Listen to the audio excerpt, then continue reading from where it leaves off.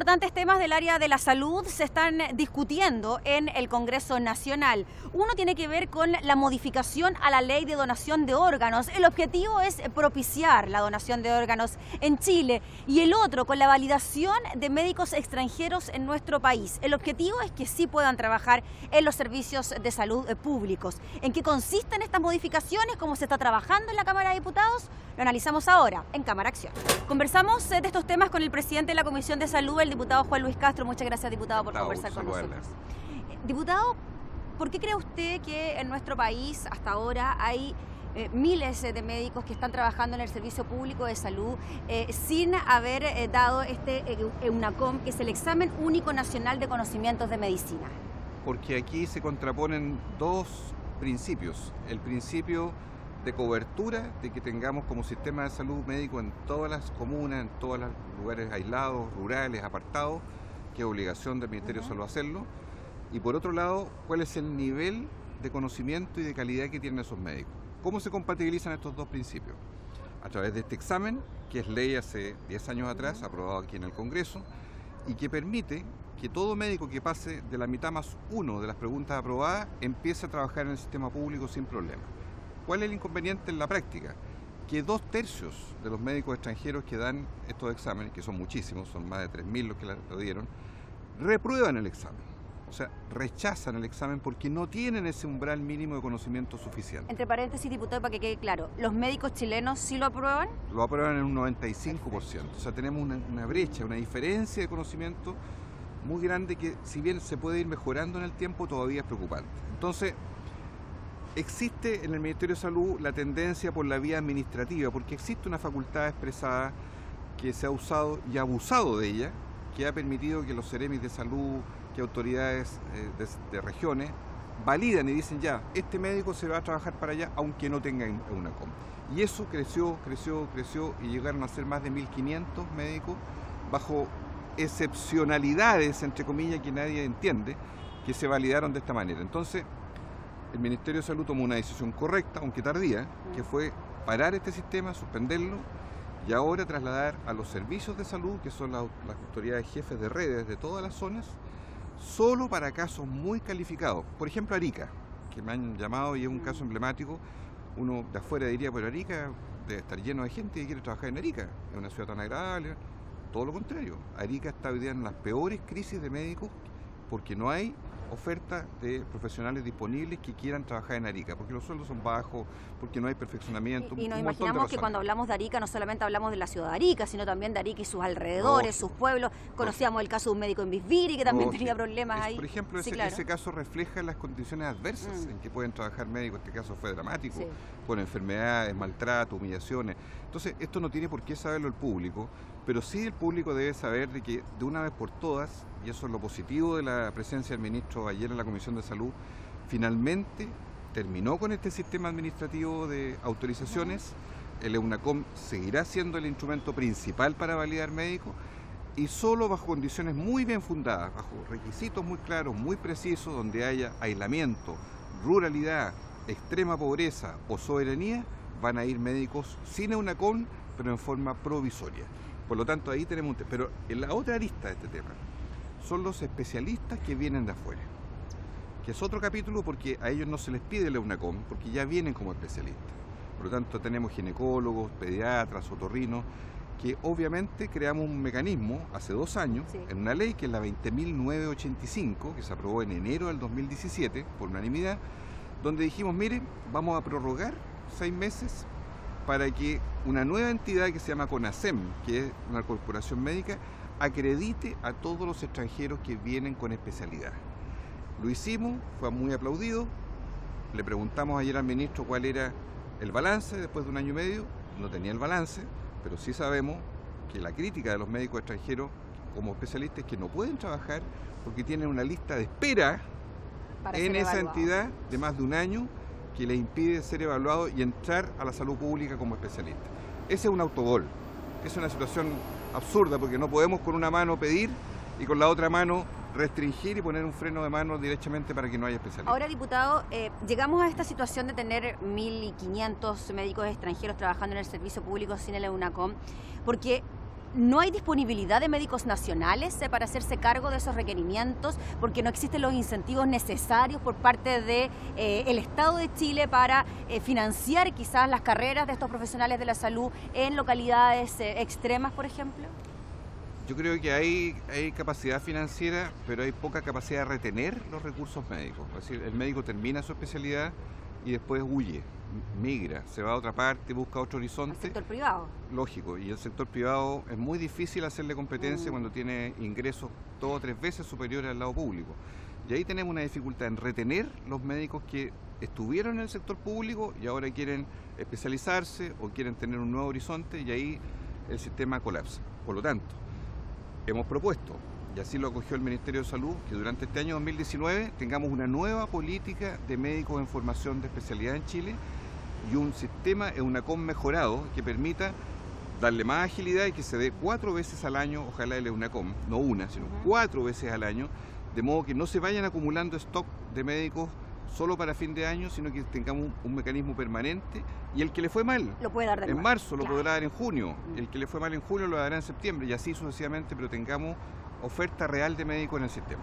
Diputado, lo quiero llevar a otro tema, tiene que ver con la ley de donación de órganos eh, que está siendo modificada en el Congreso. Nos imaginamos que el objetivo es propiciar la donación de órganos en Chile. ¿En qué va a cambiar la situación con la ley que teníamos hasta ahora y con lo que va a ocurrir desde esta nueva normativa? En la ley última eh, somos todos donantes universales, salvo quien quiera inscribirse en un registro de no donantes. Y eso era un trámite en notaría. Exacto. Hoy sabemos que habrían pasado por ese trámite 4 millones de chilenos que estarían en un registro de no donantes. Pero también sabemos que hay muchos de ellos que no fueron a notaría, sino que lo hicieron al renovar su cédula de identidad o su licencia de conducir. Pero eso, diputado, ya no ocurre. Uno cuando va a renovar la cédula no te preguntan ahí si no, uno quiere ser donante o no. Ese plazo expiró ya, eso fue anterior pero sí hubo irregularidades porque no todo el mundo recuerda en qué circunstancia, al renovar un trámite, declaró o no mm. ser donante y por lo tanto, al no haber una recordación clara, creemos que ese volumen de 4 millones no es el real. Y como hay una carestía de donación, el proyecto del gobierno apunta en la dirección correcta, es decir, bueno, a ver, demos un pequeño plazo para que esos 4 millones de chilenos que dicen que no quieren donar se recalifiquen. Y les preguntamos de nuevo, usted por carta, ¿Usted de verdad no quiere ser donante? O sea, le va a llegar una carta a los 4 millones de una carta del registro civil. ¿Usted de verdad, porque nos aparece usted aquí, ¿usted quiere no ser donante? ¿Sí o no? Y le damos un plazo de un año, se dijo en el Senado. Dos años, perdón, nosotros lo bajamos un año. Y la persona va a decir sí o no, y si no responde, se entiende que vuelve a ser donante le colocamos ese, ese aspecto taxativo. Y si no quiere ser donante, ¿cómo tiene que, tiene que responder esa carta? Ratifica, ratifica que no quiere ser donante. Perfecto. Nada más. No tiene que ir a hacer ningún papel, ningún trámite. Okay. Entonces, la gracia de este proyecto de ley es que ahora, en el tiempo inmediato, le dice a las personas, mire, hágalo ahora. El Senado dijo dos años, nosotros lo acortamos a un año, esa es la enmienda principal. Y en el fondo, de aquí a principios del próximo año, podríamos tener un registro limpio en Chile de todas las personas que de verdad van a ser donantes. Y además se agrega otra cláusula que se llama de irrevocabilidad. ¿Qué significa esto? Que lo que el titular en vida dijo, cuando si tú dijiste yo quiero ser donante y lo hablaste con la familia y quedó estampado así, nadie va a poder cambiar tu punto de vista, porque hoy lo cambian los familiares. Si tú estás en una situación agónica de muerte inminente y el equipo médico plantea la, donación de tus órganos, aunque tú hayas querido ser donante en vida, tu hermano, tu padre, tu pareja puede decir no y vale eso último. Y se pierden hoy día la mitad de las donaciones solo porque los familiares atraviesan en el último momento e impiden la donación. Con este artículo nuevo va a ser irrevocable. Nunca nadie va a poder interferir en la decisión del titular que dijo yo quiero ser donante y si me llegara a pasar algo, esta es la voluntad mía. Diputado, para cerrar, eh, usted nos decía que más de la mitad de los órganos se pierden por la decisión de los familiares. Nos imaginamos que esa decisión se toma eh, por la desinformación, eh, por la desinformación pensando que quizás a ese familiar querido le queda alguna posibilidad mínima de vida. Yo creo que ese es el mayor temor que puede tener una familia. Quizás una campaña informativa que dé cuenta de las reales causas en las que un paciente se puede someter a una donación de órganos, quizás podría cambiar la mentalidad de aquellos familiares. Sin duda, pero también es cierto que hoy día el criterio para pedir donación de órganos es muerte cerebral. ¿Qué es eso? Es un estado de coma. ¿Qué eso es lo que no queda claro? Es un estado de coma profundo, es decir, el estado de coma, para que la gente nos comprenda, es la total ausencia de conciencia. Esa persona aparece dormida se la estimula de distintas maneras y no despierta más. Eso se llama estado de coma profundo. Pero a eso se agrega un test de apnea que es una prueba para ver si la persona puede respirar por sí sola o no puede. Normalmente no puede. Y tres, se agrega una prueba que se llama electroencefalograma para ver cómo están las actividades eléctricas del, cerebro y está plano. Cuando se configura esto, se dice este, este paciente está en muerte cerebral. Ahí, solo ahí, está autorizado el equipo médico a pedir donación de órganos porque ese es un estado irreversible. Mm. Para que nadie se enrede, porque pueden haber estados anteriores a ese, estados de de un coma superficial, de un trauma encefalocraniano, muchas condiciones que son recuperables. Ningún médico va a ir a pedir esos órganos, solo cuando se llega a muerte cerebral. Y esto es bueno clarificarlo a la familia, sobre todo en momentos tan dolorosos, para que ojalá exista el espíritu altruista de la donación. Muy bien, pues diputado, le agradecemos por conversar de estos temas con nosotros. Muchas gracias. Conversamos de este tema con el diputado Sergio Gaona. Diputado, muchas gracias por conversar con Cámara Acción. encantado, feliz de poder conversar con ustedes. Eh, eh diputado, eh, ¿por qué cree usted que se llegó a una situación en la que 1.500 eh, médicos extranjeros trabajan en nuestro servicio público de salud sin haber rendido o habiendo reprobado el EUNACOM? Bueno, sucede que tenemos un déficit de especialistas importante en el país, sobre todo en las comunas y regiones y localidades más aisladas, donde es muy difícil que médicos egresados de universidades chilenas puedan estar en esos lugares porque sencillamente no quieren ir a esos lugares a prestar el servicio médico correspondiente. Por lo tanto, se hace necesario que poder tener esos médicos. Y hubo en un minuto determinado que se autorizó a las secretarías regionales ministeriales para que pudiesen dar la posibilidad de que aquellos médicos especialistas extranjeros que no hayan dado la UNACOM pudiesen ejercer un periodo de tiempo mientras dan ese examen de la UNACOM. Evidentemente esto tuvo un aumento explosivo dada la necesidad relevante de estos especialistas. Ahora, cuando uno le pregunta a la gente, y yo que vengo de una región que tiene muchas localidades aisladas, cuando yo converso con la gente en Río Hurtado, en Montepatria, en Illapel, en Salamanca, en Combarbalá, de verdad están felices con los médicos extranjeros, especialmente los venezolanos, por la calidez humana, por la calidad del servicio que brindan, por la atención y por la capacidad de estos médicos. Sin duda alguna aquí tenemos que equilibrar porque es necesario tener esta validación, pero también tenemos que pensar en la comunidad. Y en ese sentido, el ministro se ha comprometido a parar un poco estas autorizaciones de la Secretaría Regional y Ministeriales, evaluar cómo va a ser el resultado de aquellos médicos extranjeros que estando en esta situación hoy día rindieron en una COM, esperar esos resultados y determinar pasos de acción para poder seguir en esto. Pero la necesidad de médicos es tan relevante porque la mayor parte de nuestros médicos se queda aquí cómodamente en Santiago o en las capitales regionales donde pueden ganar dinero. Y en el sector privado. Y además en el sector privado. Y en cambio, los pobladores, la gente más pobre, hoy día no tiene atención médica. Por lo tanto, aquí lo que hay que hacer es precisamente cómo generamos las condiciones para que estos médicos puedan certificarse a través de la UNACOM y puedan atender a esa población que tanto necesita. Eh, diputado, cuando estamos hablando de estos médicos que quizás no tienen esta certificación que da eh, nuestro país, quizás ellos sí podrían estar capacitados, por ejemplo, para atender eh, atenciones, solicitudes primarias en un consultorio. Ahí quizás sí calza que ellos pudiesen realizar sus actividades. Bueno, precisamente lo que estaba hablando recién tiene que ver con atención primaria. Estos médicos están fundamentalmente en atención primaria. Mire, yo un problema de salud en la ciudad de Illapel y me fui a atender a la ciudad de Illapel, un problema de salud importante, de urgencia, y la verdad que me atendieron de manera perfecta y puros médicos extranjeros. Por lo tanto, y no necesariamente con el UNACON rendido. Por lo tanto, aquí yo no pongo en duda la capacidad, es necesario certificarla, no pongo en duda la capacidad de los médicos, ni siquiera en la atención especializada. Por lo tanto, si podemos tener flexibilidad para la atención primaria, a mí me, parece una, me parecería una muy buena medida. Esa es una solución que tiene que resolver, o un problema que tiene que resolver el Ministerio de Salud, y esperamos que aquí se piense en la gente evidentemente teniendo todas las salvaguardias correspondientes, pero pensemos en la gente y no resguardar ciertos espacios para médicos solamente chilenos. O sea, un vecino de su zona, por ejemplo, de la región de Coquimbo, que es atendido por un médico extranjero, ¿no debe sentir temor a que quizás ese médico extranjero no le va a entregar el mejor tratamiento médico? No, yo creo que buenos médicos hay en todas partes, chilenos y extranjeros. Y malos médicos también, hay, chilenos y extranjeros. Por tanto, aquí no hay que tener temor.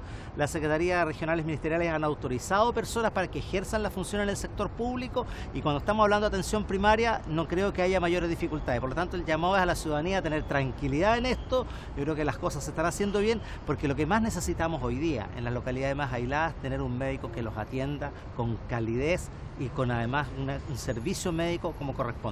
¿Tenemos que resolver el tema de la certificación? Sí, hay que resolverlo. ¿Hay que hacer esa certificación? Sí, pero tampoco le estemos cerrando la puerta a las posibilidades que tenemos de tener especialistas extranjeros que están haciendo bien su trabajo en las localidades más aisladas. Una buena alternativa quizás es que la UNACOM se rinda más de una vez al año para que así una persona que fue reprobada en una oportunidad pueda rendirlo los meses siguientes y no así esperar otro año para poder validar.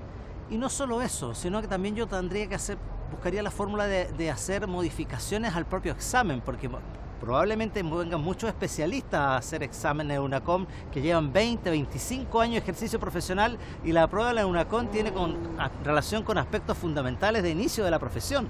Por lo tanto, quizás si viene un especialista broncopulmonar que tiene 20 años de experiencia, poder hacer una UNACOM que tenga que ver con su especialidad y no necesariamente como, como se le hace a todos los médicos cuando recién egresan de la universidad. Por lo tanto, pueden haber modificaciones allí, creo yo, eso lo tendrán que definir los especialistas, pero también me parece que podría rendir quizás ni siquiera una o dos veces al año, sino las veces que sea necesario, de tal manera de permitir que efectivamente tengamos médicos especialistas en nuestro país. Ahora mirando el, vaso medio lleno, diputado Gaona, eh, que los médicos chilenos aprueben más de un 90% este examen y que los extranjeros no, da cuenta de que quizá eh, nuestras escuelas de medicina están en un nivel eh, bastante bueno, ¿no?